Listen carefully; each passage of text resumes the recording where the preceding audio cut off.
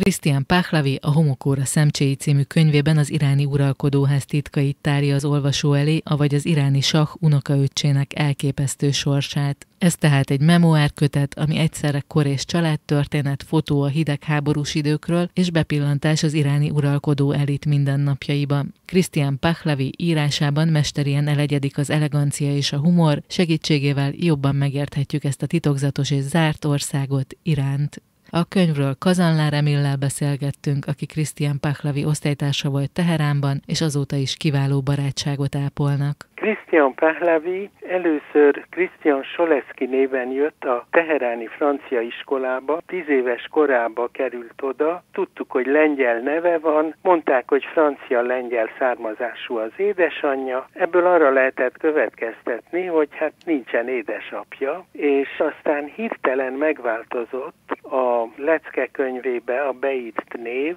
és hirtelen a sa, tehát a császárnak a vezeték nevével járt tovább, tehát Christian Pahlavi lett. Na most voltak, akik nem barátkoztak vele, akkor, amikor úgy tűnt, hogy ő csak egy lányanyának a gyermeke, és voltak, akik barátkoztak, én azok közé tartoztam, akik barátkoztak vele. És akkor apja neve Ali Reza. Na most az köztudott volt, hogy Ali Reza herceg a sa számos testvére közül az egyetlen azonos édesanyától származó gyermeke. Tehát a sa öccsének volt bejegyezve, mint fia. És ettől fogva megváltozott a légkörő, továbbra is azzal az egy-kettővel barátkozott, akik akkor is barátkoztak vele, de úgy megtűrte a hódolatokat maga körül. Egy nagyon szellemes fiú volt, nagyon sokat olvasott, sportolt, volt benne valami érdekesség, nagyon nagy fanyar humora, önhumora volt, és nagyon jól rajzolt, és nagyon jól fogalmazott. Egy rövid ideig ő volt diszkréten az ország trónörököse. Ugyanis, amíg a császárnak, Mohamed Reza Pahlavinak nem volt saját fia, addig az öccsének a fia volt a trónörökös. Őt bejegyezték Ali Reza herceg fiának, Ali Reza herceg ezt a gesztust megtette felé. Tulajdonképpen, mint később kiderült, ez jócskán később, ő már 55 éves volt, amikor ezt megtudta, ő a német megszállók egyik katona orvosának volt a fia, 1941-ben született Párizsban, de tényleg azt hitte, hogy őt később legalizálták, és ő Ali Reza hercegnek a fia. Na most született neki egy öccse, és akkor hirtelen az öcs lett a trónörökös, itt valahol egy kicsit gyanús lett a dolog, kilógott a lóláb, hogy ő akkor mégse a herceg fia, hanem az öccse a herceg fia, amikor már a herceg elvette feleségül a gyönyörű szép Krisztián Soleszki nevű hölgyet. Aki és, az anyukájuk hát, volt. De miért érdekes ez ma Magyarországon? Mert fölhívja a figyelmet nagyon sok dologra, amire nem nagyon tudunk odafigyelni.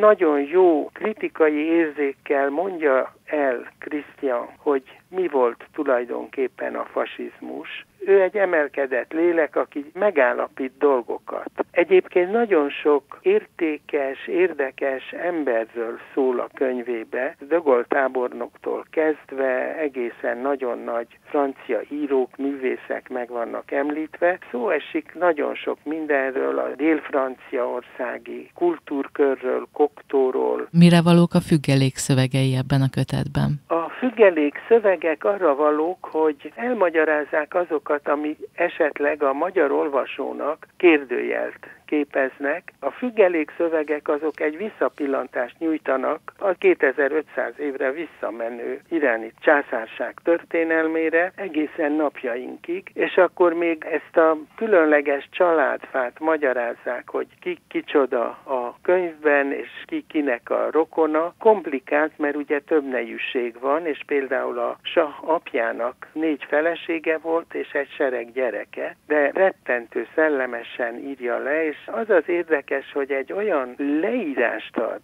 a akkori perzsa viszonyokról, a monarchia utolsó napjairól, meg arról, hogy mi hogyan váltottak ki a változásokat. Nem egy elfogult ember, és rettentően önkritikus, és nagyon részletesen leírja azt, hogy a politikai rendőrség kegyetlenségei milyen mértékig okozhatták a változások sürgős beállását Iránban. Ez a könyv elemző könyv, hogy úgy mondjam, egy kritikai történelmi korrajz, néha akasztófa humorral. És egy ilyen önvizsgálat is van végig, önkritika a könyvbe, és mindezt amellett, hogy Alzheimer korban szenved.